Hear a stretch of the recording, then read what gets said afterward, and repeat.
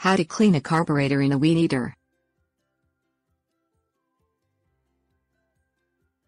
String trimmers are incredibly useful until they break down. If your string trimmer is having trouble starting, the problem may be deep inside your carburetor. It sounds like the difficult problem to solve, but with a little attention to detail, you can clean your carburetor and get back to trimming.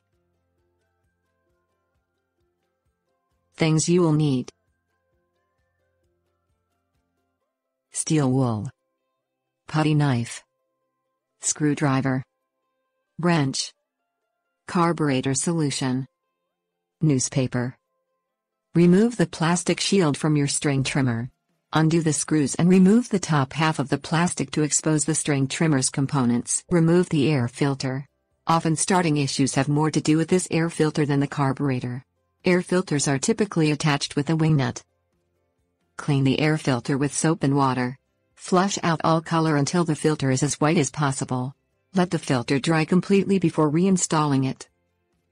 Disconnect the carburetor's two main input connections.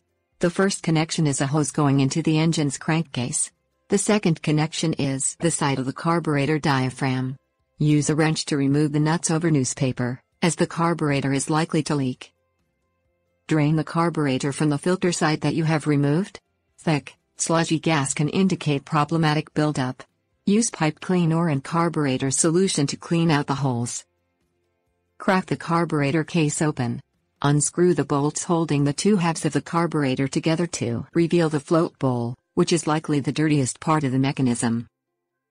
Clean a float bowl with steel wool and a putty knife. Scrape off built-up sludge. Do not use water or soap. Reassemble and install the carburetor back into your string trimmer.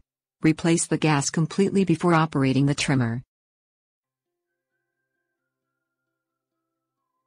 Tips Warnings Clean your carburetor in a well-ventilated area while wearing safety goggles. Carburetor cleaner can be highly flammable. Never soak a carburetor in water or gasoline.